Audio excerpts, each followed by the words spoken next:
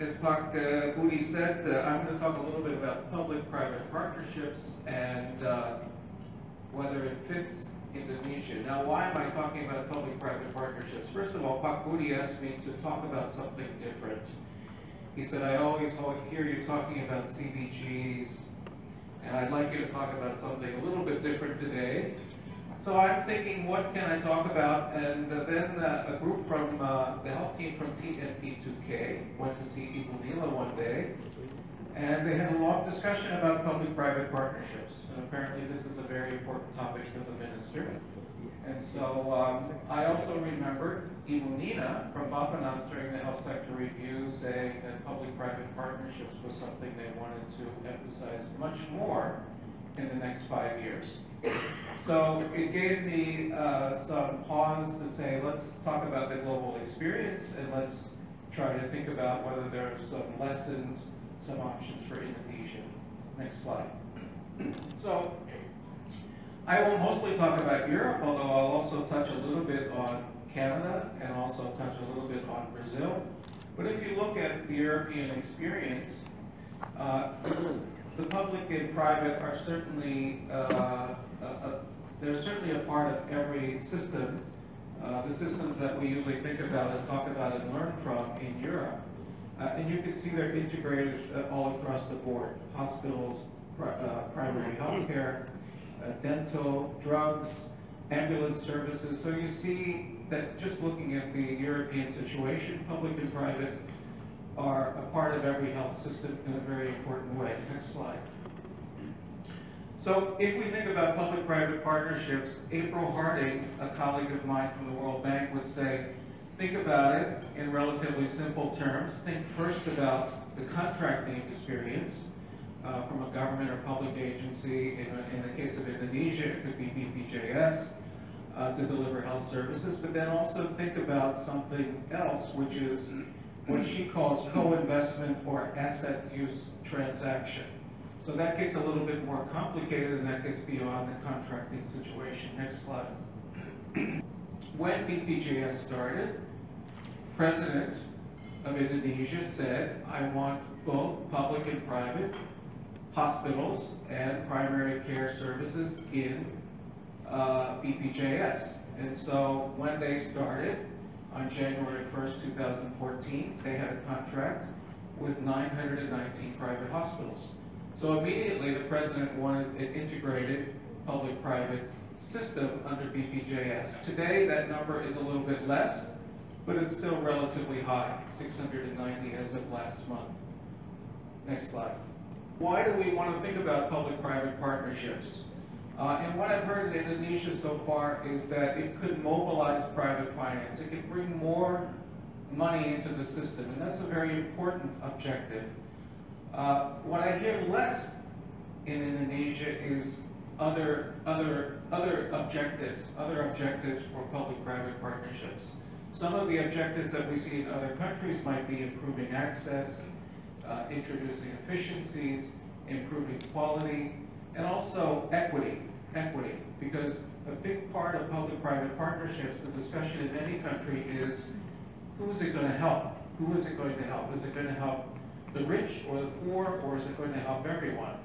And I don't hear, at least in my conversations, I don't always hear these secondary objectives that I've, that, that I've listed here. Next slide. So contracting, um, let's, let's go through a couple of examples in Europe. Uh, I list them here. That you can buy services, you can buy packages, you can um, think about financing um, uh, facilities, and you can think about combining both facility and service operation. And we'll go through each of these these countries and these uh, and these um, uh, and these examples. Next slide. So, for, so in Estonia, it was a former Soviet country. Everything was public. And what they did in Estonia was establish first the, the for, for primary health care, the primary health care package. Uh, the new BPJS in Estonia uh, encouraged uh, primary, uh, private primary health care practices, uh, and they would contract them with the design package, okay?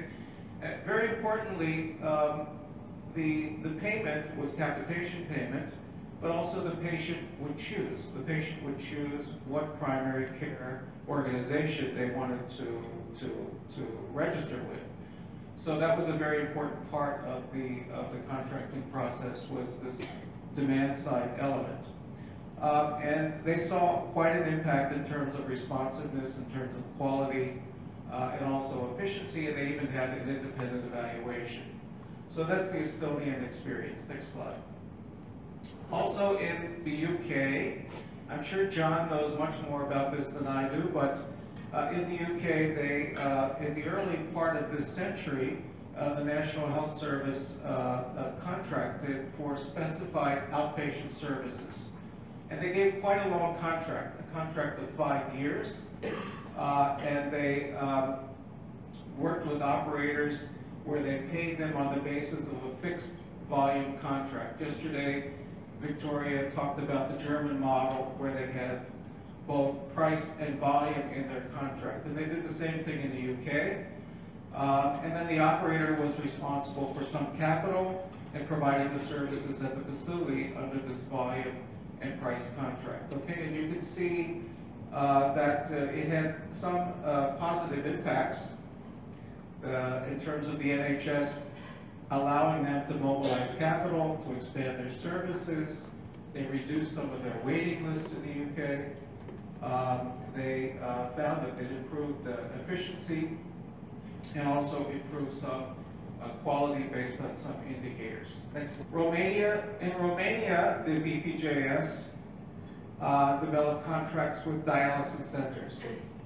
Dialysis centers, and here, what's very important about the Romania experience is that there were negotiations and contracts based on prices, but also uh, in the contract there was a mobilization of capital, but also a real effort to improve quality, to improve quality through new national standards, uh, and um, uh, so they saw some savings in terms of uh, in terms of cost savings, but they also saw real improvements in terms of quality uh, because they focused both on the cost side and on the quality side. Next slide. So that's contracting.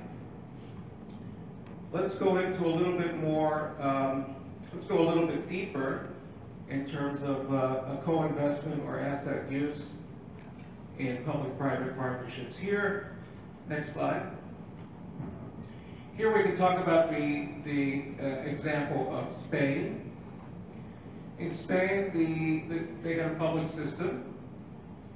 So the problems, uh, and I'll let you read some of this on the slide, but the problems uh, that they faced uh, had to do with the budget deficit, lack of budget, number one. Secondly, there was a perception that the quality was not adequate. It was lower in terms of what patients expected. And third, there was a perception of inefficiency. Inefficiency, okay? And so what they did was, in this area of Spain, Valencia, in five of the 21 districts, they um, contracted out all of the services in the district to a private operator. So these were public facilities. These were public facilities that were then outsourced to private consortia. Okay, and it was the entire health system. So if you're living in a district, if you're living in a district, your health facilities, your health system is managed by a private operator. Um, and they were paid on a capitation basis. They were paid on a capitation basis. Next slide. Third-party operator, they went to uh, firms that had been experienced and had some track record, okay? They had capabilities in financing and managing large-scale projects. Uh, secondly, they were given some autonomy to manage the network of providers uh, and also system governance. Um, and uh, they also had very strong incentives. They had very strong incentives both from the standpoint of their payment, but also from the standpoint that people, if they were not happy with the services, they could go to other, other, other districts for their health care. Next slide. Let's go to Brazil. In Brazil, they built a number of hospitals through the um, through the government budget process. But then they did something similar, which was they um, they then went to a not-for-profit not hospital operator to operate the hospital under some services coverage contract. And that included both clinical and non-clinical uh, services. Next slide. See a global fixed budget, both for capital and for variable cost. Uh, they also, in the contract, specified patient volume targets and quality parameters. Uh, and I list one here. Uh, now, why was volume important there? Volume was important there to actually encourage more work. Because one of the problems in Brazil was that they were actually not working that hard. So the volume, yesterday Victoria talked about the volume as a way to keep the utilization down. Here, the volume contract was really to encourage uh, greater productivity and also uh, the quality parameters were built in as a way to measure the performance. Uh, another very important part of this of this uh, pilot was that they had standardized financial management systems. Standardized financial management systems so that they could actually look to see who was doing the best job in terms of efficiency relative to outcomes. So they covered the, um, they both covered the quality side and the efficiency side. Next slide. The, um, here are some of the results. You can see the blue is, is after, the red before. You can see the productivity went up. You can see that uh, average length of stay went down. Uh, there's a number of other, other indicators in terms of quality, which I, I don't show here, but uh, this gives you just a, a, glimpse of the, of the improved productivity that they saw in Sao Paulo. Next slide. So let's talk a little bit about the hospital markets in Europe. Um, going back to Europe, um, we see two types of hospital markets. Two types of hospital markets, either segmented or integrated. So you could go to a country such as the UK or some of the Nordic countries or some of the former Soviet Union countries where public and private are relatively independent of each other. Um, or you could go to a place like Germany where you could find that public and private are relatively integrated. Now, for me, it's kind of interesting because in Indonesia we have both. We have a somewhat integrated system, 600 or so hospitals contracted to BPJS, but at the same time we still have some hospitals outside of the system, and so it's a relatively segmented market in that sense. Next slide. So here's the UK segmented market. You can see mostly public hospitals, but some private hospitals. Next slide. In this, in this case, uh, what does the government uh, do for the, um, for the public hospitals? They're involved in governance, they're involved in funding arrangements. For the private side, they're only involved in regulation. Um, and I don't know to what extent in Indonesia we fully regulate private hospitals outside of the system yet, but nevertheless, we might think about what the UK does in terms of regulation of the private sector if they are outside of the NHS. Next slide. Um, now, even in the public sector in the UK, uh, a few years ago, they embarked on uh, a pilot program called the Private Financing Arrangements, or Private Financing PFI, private financing, what was the PFI, private financing initiative? PFI, private financing initiative. So even within this public sector, they started this private financing initiative, a public-private partnership. I believe it was under the Blair government. Why did they do this? They didn't have budget. So they didn't have fiscal space. They said, how can we continue to build new hospitals if we don't have the budgetary space to invest. So what they did was encourage private investment of hospitals. In return, the NHS would give them a 30-year contract. A 30-year contract and pay them as an NHS hospital for 30 years. Okay, so that was basically the PFI.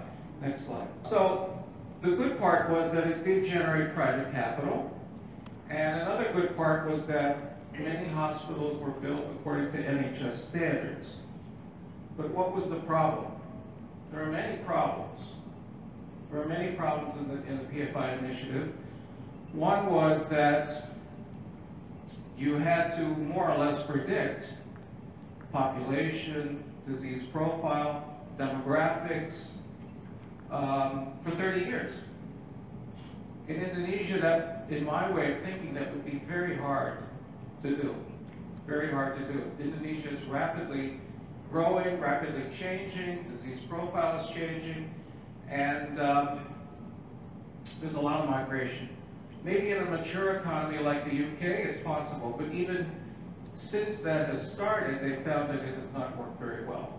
The second problem they've had is that uh, maintenance of these facilities has not uh, been um, uh, uh the best the best quality. Uh, and many people have told me their own experience in the UK that uh, that they feel that the the contract has not worked well over time. Next slide. Now, if you have an integrated system, the government obviously does more than governance. It also does funding, regulation, information flows. And that's what the government would be expected to do here. The BPJS would be expected to do here uh, through its integrated system of contracts with 600 or so hospitals. Next slide. That is Germany. Again, Victoria talked about it yesterday, but they have public, they have private, they have uh, non-profit. Next slide. One of the things an integrated system can do is allow purchasers like BPJS to collect information on public and private hospitals, on public and private hospitals, and to use that information to look at not only efficiency, to look at outcomes and quality.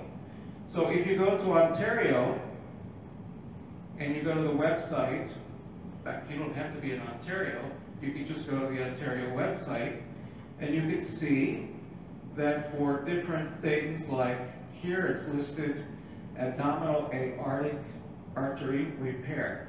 So they have the mortality rate. They have the mortality rate year by year. Uh, the blue says your hospital is better than average. The white says you're average. The red says you're not doing so well. You're below average.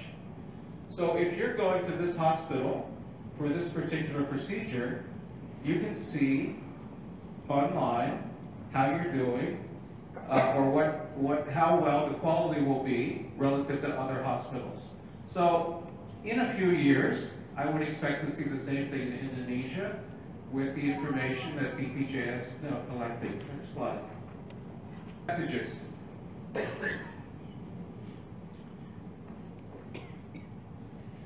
I think that we, when we think about public-private partnerships, we have to think about a couple of things. And again, this is from April Harding's so-called five-factor framework. So first of all, service contractability. How easy is it? How easy is it? Uh, how well defined are the services? How well defined are the services? Uh, what's included? Um, how easily pri priced can it be? Uh, how easily regulated can it be? Secondly, what's the investment size? And what's the potential exposure for the public sector? Because anything we push out to the private sector, the public sector will still have to be ultimately responsible for it. So if we ask them to invest in something, what is the exposure? And if they fail, if they fail, will the government be ready to come in to fix the problem? Next slide.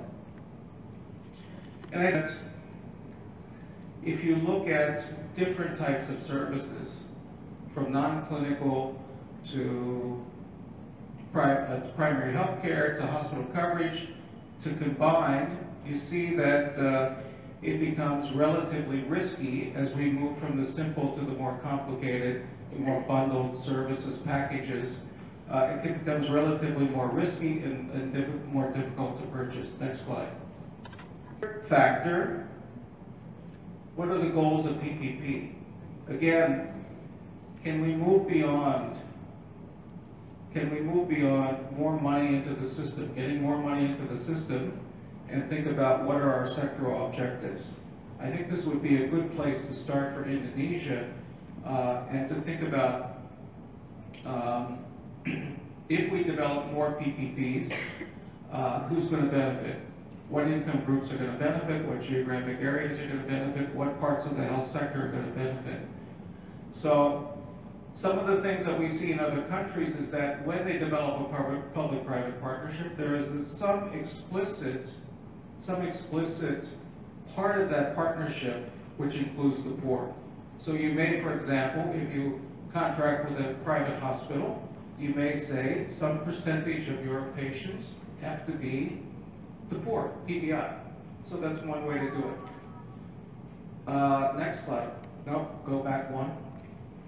Fourth, uh, again, implications for non-performance. If there's failure by the private sector, what happens? Uh, who's going to pick up the pieces? And then fifth, we always need to evaluate. If we do start down this road of public-private partnerships, let's build in some evaluation mechanism. Next slide. Basically, this just looks at the global evidence in terms of cost savings, in terms of quality improvement, in terms of capital mobilization, uh, in terms of improved management, but also performance risk. Performance risk. So what we see here is that as it becomes more complicated, as the service package becomes bigger, the potential payoffs are higher. At the same time, the potential for performance risk, failure, also increases. So we get into riskier areas, we may, be, we may see bigger benefits, but at the same time, the public sector, the government, has to be ready for, um, for, for, for anticipating uh, things not working and being ready to rush in and to provide support uh, if, the, if the private sector fails.